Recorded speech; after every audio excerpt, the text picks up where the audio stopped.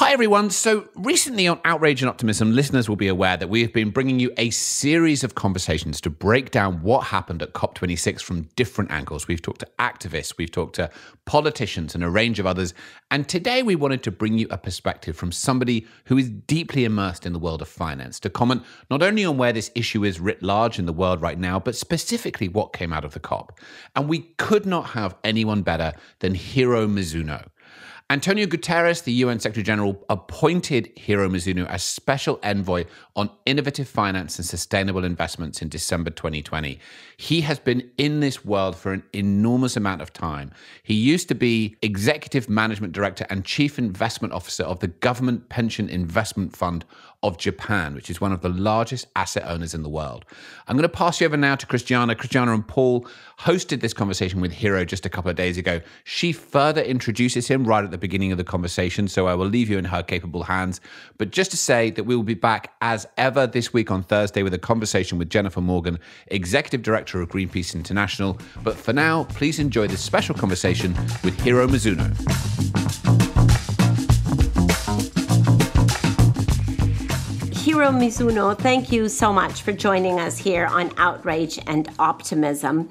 Uh, for those who don't know you yet, the Secretary General Antonio Guterres named you Special Envoy on Innovative Finance and Sustainable Investments at the end of last year, with the role to support the Secretary General's advocacy and engagement to encourage uh, private investments and public shifting of capital towards an area that is larger than climate change, towards the broader 2030 agenda and all of the sustainable development goals. So, thank you for the work that you've been doing on that broader agenda for the past year. But if you don't mind, we wanted to focus this conversation on the support that you have been giving not only to the Secretary General, but to the whole process of shifting finance toward climate uh, goals. So, if you don't mind, that's what we would like to um, focus on. And to start, here we are uh, coming out just a few weeks after COP26. My sense, Hiro, but I would love to hear from your perspective my sense is that if there was a sector who all of a sudden had a huge awakening about the risks of misinvesting into high carbon assets and the need to shift over to lower or no carbon assets. It was the financial sector. I have never seen as a dramatic a shift as the financial sector. And in fact, I would say announcement after announcement, commitment after commitment over the past 12 months, but then, of course, culminating in COP26.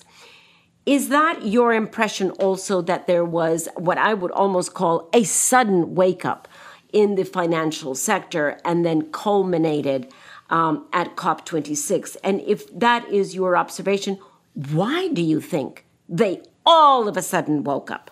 Sure, Christiana. Thanks for having me. It's my honor to work with you at the uh, the COP twenty six and uh, you know the joining this uh, you know the uh, uh, the podcast session.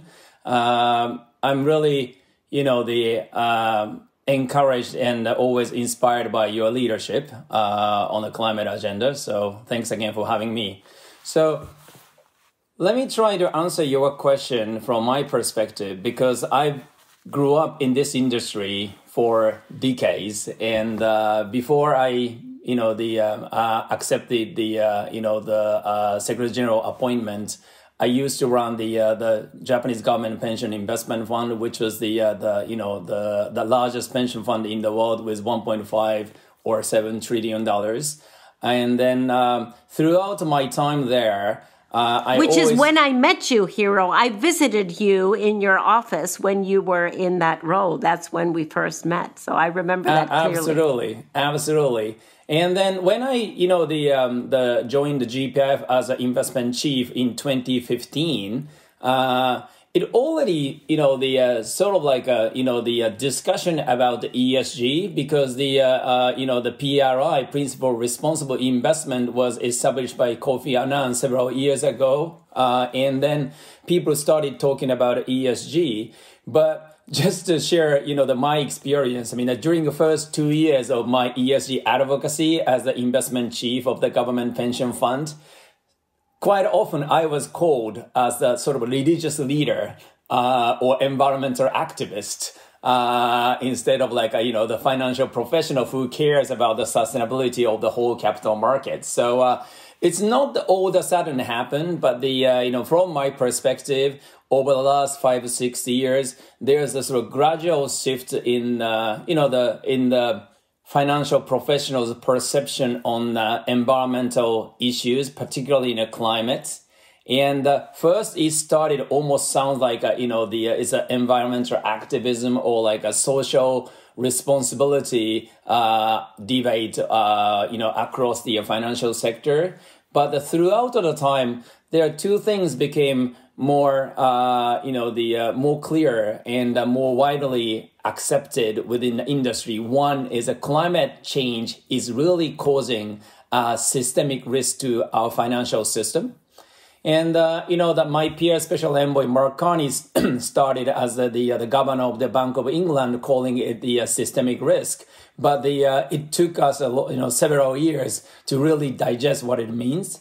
So the risk, you know, the um, the aspects of the climate change in terms of the financial system, or uh, more specifically the carbon heavy industry or carbon heavy infrastructure, became well understood. So there are two things like exactly the same as like you know when the iphone was introduced in 2007 it's not only because steve jobs came up with that idea but the, uh, the all the chips and the system was available to make it happen so uh, I, I always i think that it's the same thing happens here because the, uh, the five years of a gradual change in a shift in the know the mindset of the financial professional and the IPCC reports came to, to our attention that the, we really need to take an action right now. And the possible damage caused by the, uh, the uh, scenario, uh, you know, we don't want to see uh, is going to uh, really impact, uh, you know, the financial portfolio. So those things came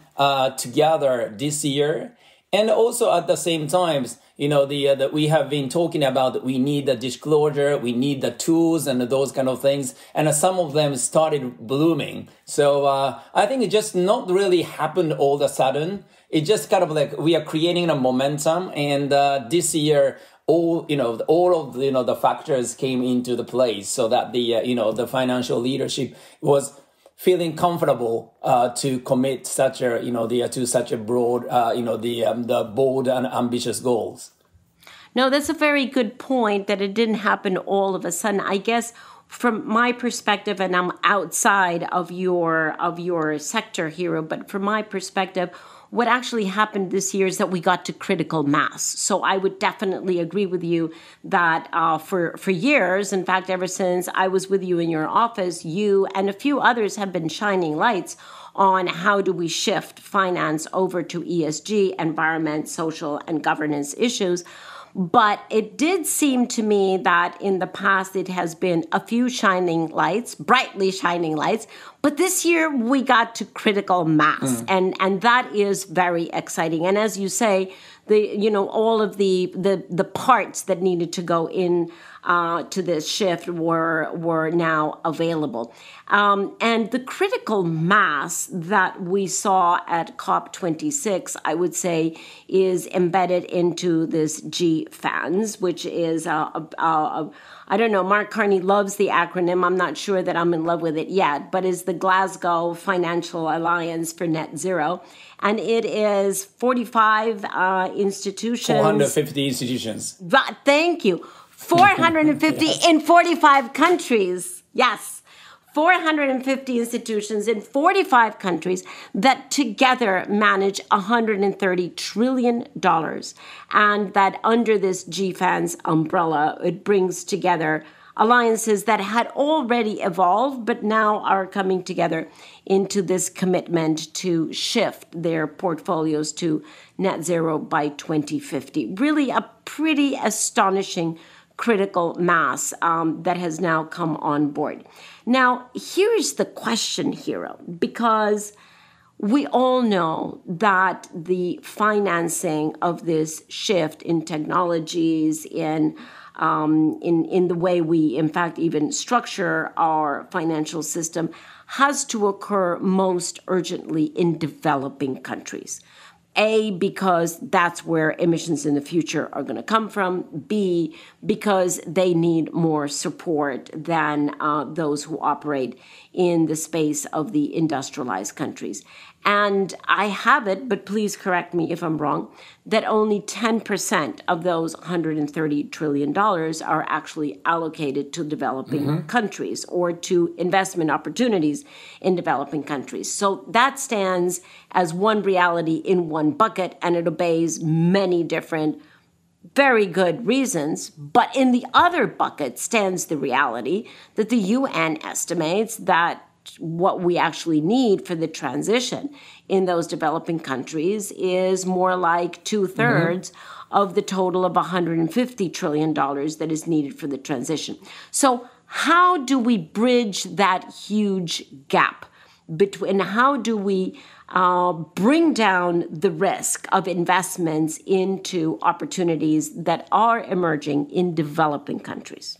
Sure. Let me stick back the uh, the you know the put my perspective on the uh, the GFANZ or Glasgow Financial Alliance for Net Zero. Now it's called the Global Financial Alliance for Net Zero after pre uh, after COP. Aha. Uh-huh. One of the biggest achievement of that is due to that critical mass, uh, the people in the financial uh, sector or the people acting in the capital market or financial market now feels that this is a consensus this is a base case scenario for them to analyze their investment or financing opportunities. So uh, just uh, like a 10 12 months ago if I talk to the, uh, the any financial sector analyst or like a people working in the, in a capital market, what what do you use as a your base case scenario and how you you know the compare your opportunity or risk uh, against those scenario? I would have said like you know the 80 90 percent of analysts said like oh well we still don't believe in a 2.0 degree scenario. So now I think the uh, the GFANZ is announcing like you know we are going to use 1.5 degrees you know transition or like a pathway as our base case scenario. So uh, that's wait, Hiro. Can you say that once again? Sorry, can you say that because you've just said something that is hugely important. Are you saying that these 450 institutions managing 130 trillion have actually formally committed? To a ceiling, to their financial transactions contributing to a ceiling of 1.5 versus 2 degrees. Did you just say that? Yeah, because the net zero requires 1.5 degree. Uh, you know the uh, uh, the the goal, right? So uh, I think the uh, the when they say we commit to net zero by 2050, that means like uh, they are committing to 1.5 degree scenario. But the the reason why I think that kind of consensus is very critical is just two years ago, I gathered with the uh, you know the global you know the uh, CEOs and global financial uh, sector leaders, and um, I asked them a question after two days of discussion on how we can integrate ESG or climate change in the uh, our businesses, and then I asked first that the uh, do you believe we need to achieve 1.5 degree and everybody said yes. Wow. And uh, then I followed up with a question like uh, you know do you think we are capable of achieving it? And you know unanimously answer was yes. Wow. And then I wow, followed up with Hiro. my last question which is, which is do you think it's going to happen? And uh, very few hands raised. Interesting. so that means they knew we need to make it happen and we are capable of doing it, but we don't believe that's going to happen, right? So we just need to change that perception. Yeah, yeah. So what is the gap there? The gap there is like basically people think they can they can achieve it, but they don't think the other people try to achieve it. So it's just mm. about like a, I call it the vacuum of responsibility right? So uh, now I think the other, if that critical mass of the financial leadership says we are committed to make the uh, business aligned with 1.5 degree scenario, I'm hoping that the uh, the people working in financial industry now believe, oh, okay, Now that's going to be the base case scenario for us to use for our daily financial analysis and financial decision making. So that's for me the biggest achievement of GFANZ. But on the other hand, you know, the 130 trillion dollars sounds like a you know the very big number, and uh, we always need that kind of like you know the catchy headline. And uh, you know, that sometimes people think like uh, you know the Mark Carney said the 130 trillion dollars is available for climate finance which is a little bit overstatement because just just to aggregate you know the asset under management by those financial institutions sign up to GFANZ and how much of them it's actually ready to uh, accelerate the uh, transition to sustainable energy society energy economy it's not very clear.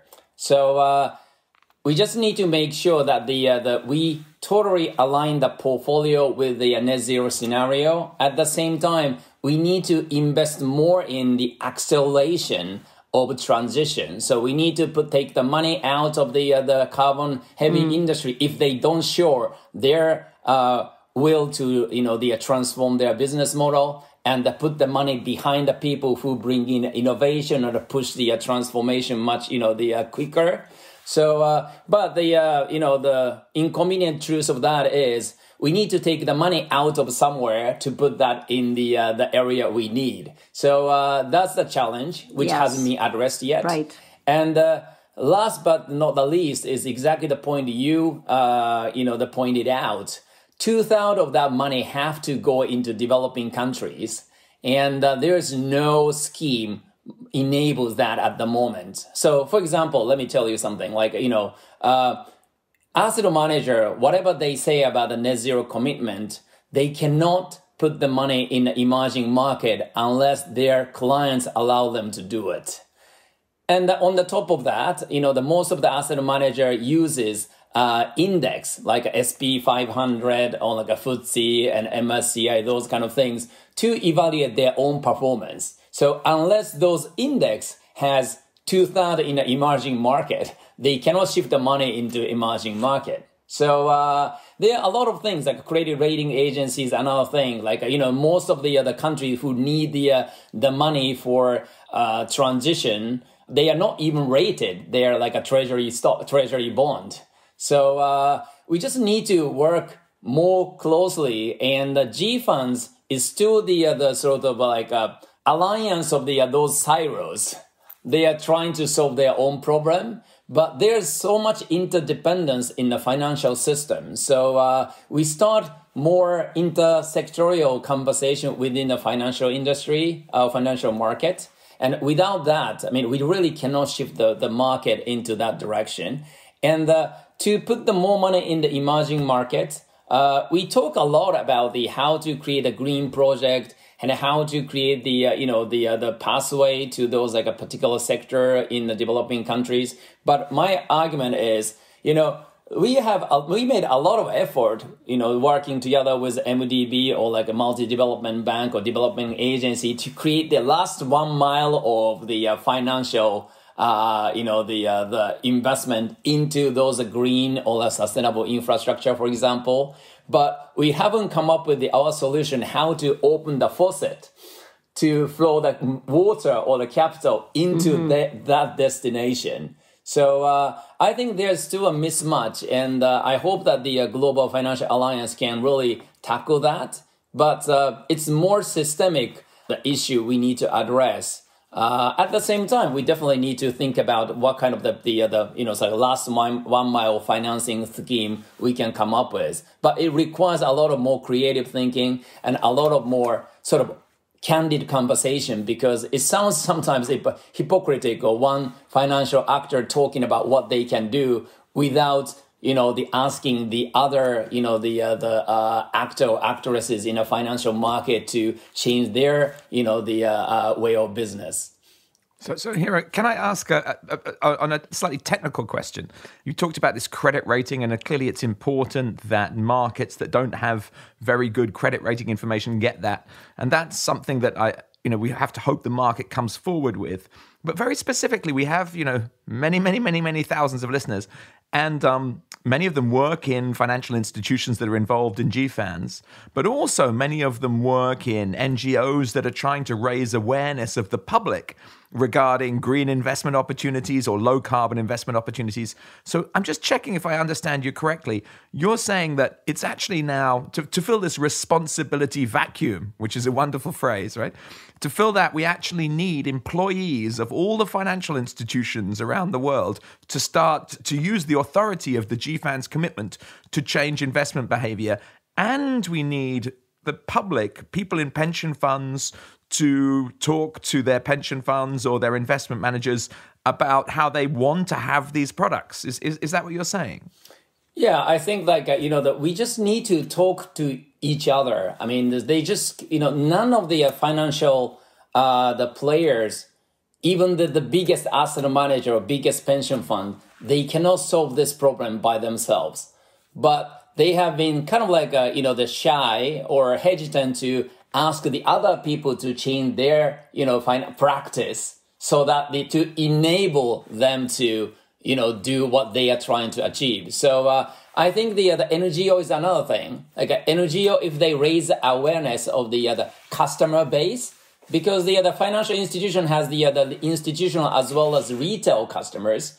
And if the NGO raise awareness among the retail investors or retail customer of the bank, banks feel like well they need to change their you know the business uh, practice. But that's something we need because the, the each party whether it's a financial really a financial player or like an ngo or the government they need to step up to actually make the statement they commit but to achieve what they are trying to achieve they need the other people to do something differently from the, uh, the what they are doing right now so uh, I think that kind of candid conversation is very important.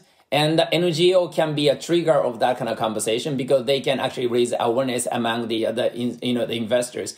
You know, I used to run the biggest fund in the world, but I always tell the, uh, people who are just making their own personal investment, talk to your banker or talk to your broker. Right. and ask them like you know how can make a more sustainable investment how I can avoid you know the uh, the investing in the, business who actually slow down the transition and that kind of conversation if it happens everywhere I think the people you know the system starts moving uh, but at this point of time that kind of intersectorial or like uh, you know the between different uh, you know actors conversation has been really you know missing that's what I'm trying to say. Um, if I understand what you're saying, Hiro, is you're saying under GFANZ, what we have is a vast collection of silos. Uh, and these are all of these separate institutions, all of which belong to different subsectors in the financial sector at large but they're all still operating in their own silos. And the next step that we need is for all of them to understand that they're all heading in the same direction, yeah. net zero by 2050, and that the only way that they're going to achieve that is actually by stepping out of their silos and beginning to communicate very directly with each other for the pieces of the puzzle that each of them have to put on the table. Yeah. Now, if that is what you're saying, I am actually quite concerned, Hiro, because that's going to take time. They're not used to operating like that, right? Yeah. That is a very different, that's innovative thinking and innovative acting, let alone innovative finance. And so that makes me very concerned because as we came out of COP, I think uh, one thing that was evident to everyone is that while there was jubilation and celebration of those inside who were the government uh, delegates, outside there is still a crisis of public trust. Mm. And we had, you know, speech from young people that said, Vanessa Nakate, for example, said, quite directly to the financial sector. She said, We don't believe that banks will suddenly put trillions of dollars on the table for climate action. Mm. When rich countries have struggled since 2009 to raise 100 billion for the world's most vulnerable countries, we don't believe that promises made by financial companies to end deforestation will actually prevent trees from being cut down. We simply don't believe it. And then she ended up by saying, I'm here to say, prove us wrong, and God help us all if you fail to prove us wrong. So, given that sentiment, and I think she expressed a pretty general sentiment uh, of everyone that was in the context, right, uh, in the surround sound area of the COP. Given that sentiment, how does the financial sector that has this huge challenge that you have so well described of stepping out of their silos and working with each other in ways that they haven't done before, how do they do that? And how do they do that quickly enough to be able to harness public trust? I perfectly, you know, the sympathize and agree with Vanessa's the comment. Like, you know, they shouldn't trust it. I'm not, I'm not yet because the uh, the you know I always say like you know during the the uh, Glasgow COP 26, you know I saw the actually frustration among the uh, financial sector leaders and some like you know the political leaders about you know the um, their efforts has not been appreciated by those like a younger generation or pro, you know the protestants on the street. But i always told them like i feel more sympathetic to those people because what we are saying is we have been we have been unfaithful to you guys for the last 10 years. And i promise now i'm to be faithful by the end of you know next 30 years. That's what we are saying. So of course they shouldn't believe. Yes exactly yeah, of course they shouldn't believe right? So uh, exactly. I, think the uh, but the one thing uh, i see the silver lining in the GFANZ is you know financial institutions financial players by nature very competitive. And they have uh, you know the uh, uh, tendency try to move before the everybody else moves. Because that's the way they prove they are worthwhile uh, you know, they're creating more return for their clients. So it's a bit of a like a you know prisoner's dilemma because the uh, the when you know the the bank now think like you know the, any project like a carbon you know the heavy project not going to be insured by insurance company they don't want to get close to that project right and when investor knows bank may not finance it investor just want to run away as quickly as possible. Yeah. So uh, I, yeah. I think the one of the silver lining I saw in the sort of like glass, you know, GFANZ type of discussion is now people think we need to move faster than my co- my competitors, and uh, that kind of the uh, competitive competitive feeling actually drive the financial sector. So one thing I wanted to share with, and I want to say is I think the uh, the sort of a competitive nature of the uh, the financial institution may now drive their you know transition to a net zero you know the uh, net zero business model net zero portfolio. But on the other hand like you know the how we can prove it it's very hard. And uh, as i said like you know the uh, you know civil society including those young people, shouldn't you know the uh, the keep their eyes off from the financial institution whether they deliver. Uh, but I think the uh, including the you know we missed to agree on a carbon pricing, for example. But I also quite optimistic. Like now, I think the private sector is now keen to develop the uh, the carbon market. Uh, not the uh, the carbon taxation, but the voluntary, like uh, you know, private carbon pricing, carbon trading market. And uh, once any market is created, you know, the financial investors, like a uh, financial professionals' nature is they want to make money by arbitraging diff- across the uh, different markets. So I think the uh, now I'm hopeful that the uh, sort of like a nat- you know, competitive nature or like you know the the profit making driver for the the financial the players now actually accelerate the uh, the shift uh, to the uh, sustainable, uh, you know, the uh, sustainable development goals. And uh, it's too early for anybody to believe in what we said in Glasgow. So I I think the, it's really up to us. you know, I think that Christina, you have been asked the same question, but after the COP, I have been asked so often that the do you think the COP twenty six was a success or failure?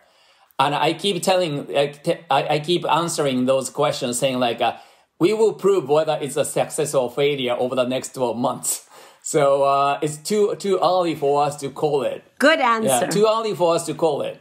Yeah, good answer. So our last question is is really from me is like you know, I, I, really think it's amazing what you said about how the competitive force, maybe people developing different products and different services to make differentiation between different uh, financial products is, is, is a very powerful force. That's super interesting. And, and maybe your comments will lead to more innovation.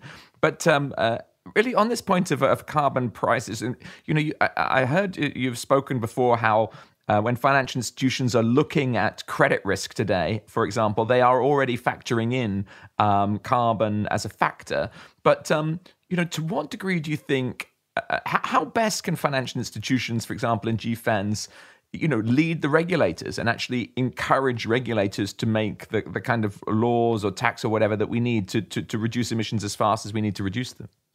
That's actually another positive takeaway uh, from the uh, the COP26 because I signed up to several the uh, letters, you know, including the B team. Uh, but the uh, this time, not only the uh, financial the uh, the sectors, but a lot of private sector urged the uh, the political leader to come up with a carbon pricing.